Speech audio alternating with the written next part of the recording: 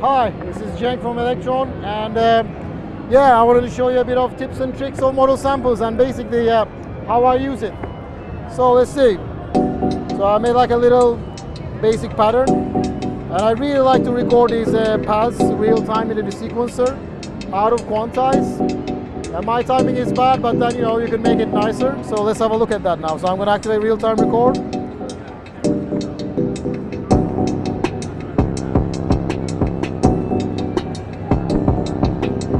Yeah that one is a bit off.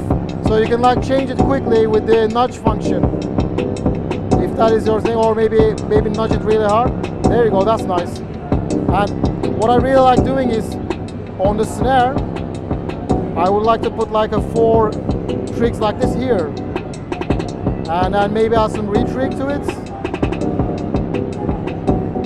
And then just turn it on. And of course you don't want to come every loop.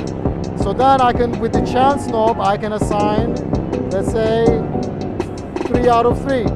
And they, will, they won't always come, you see? They don't play now. It's something that I really dig. And uh, of course, pitching the bass lines is really, really cool. Like, for example, let's try this. Yeah, okay, that was in the right place. Yeah, so now I have a good step here. But then I want to apply 25% chance of triggering this. So this is the kind of way that I actually use Elektron sequencers. I find a way, find a place that it sounds good, for example, like this. Yeah, it's okay, let's do a short decay. And maybe a, let's see a little bit more. Yeah, a bit more. And of course, apply some chance. I really dig the chance feature. It's the, one of the best things ever happened, I think. Same with the snare. You can add some more snare hits in here. Yeah, we go. That was very nice. And of course, I don't want to come all the time. And uh, yeah, let's change the pitch of that a bit. And so now I could save the pattern. And it's another thing that I really like doing is like putting a lot of hi-hats. It's too much, of course. Let's uh, put the decay down. I really like to assign LFO to the decay of the hi-hats, for example. Like and I mess around with the timing of it. Maybe, yeah, let's uh, go to the... So then, yeah, let's uh, let's change the LFO speed.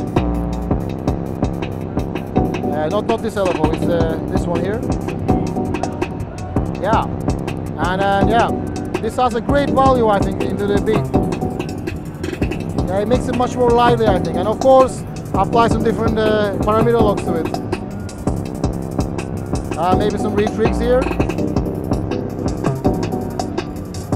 Yeah. And that's pretty much my tracks done. And uh, let's save the pattern. And of course, what's really cool is the track all function. I love it, like reversing everything. And I'm pulling back the sample end, so that's, yeah. And a bit of like looping as well. And if you pitch it up, it's gonna be funky. You know, the usual stuff, and then yeah, this is some really serious power in a little box like this, I reckon. Another thing I really like doing is distorting the hell out of it. I lower the volume of all the tracks, and then yeah, this is so sweet when you do it like this and maybe use a filter on everything. This is a really neat feature also and of course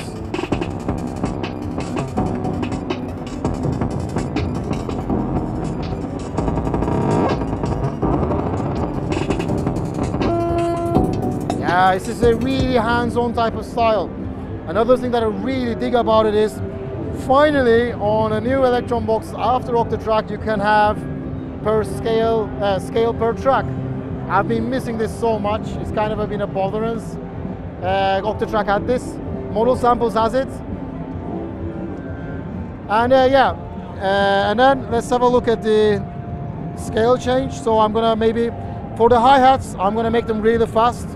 For the kick, I'm gonna make it like half the speed. For snare, let's make it double time for this uh, thing here, let's make it 3-4 and also for the pad 3-2. So all of them are kind of running at a different multiplier of the BPM now. And the result, I have no idea if it's gonna sound good or good. It's kind of like a chance method. I love this. Hey, hey, we need to change it a bit. Let's have a look. Go to the hi-hat and make it slower.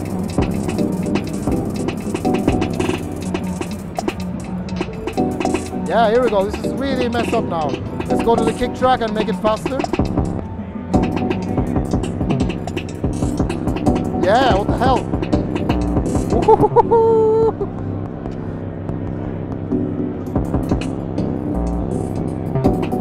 yeah. And uh, yeah, that's really cool. And finally, before I say bye, the, the chance function is a really good addition to our sequencer also. Just like the scale per track, uh, the chance function is really good on this unit. Basically what it does is that it decreases the chance of a trig being triggered. Let's go to the hi-hat track that we blasted it out like this. And I'm gonna mute the tracks. Only this is playing. So I drop the chance and see what is going on. All the trigs have got 58% of chance triggering. But what happens if I apply it to all of the tracks? Well, let's hear. Oh, sorry, what's this one? Here we go. Ah, this is so, so interesting stuff like this.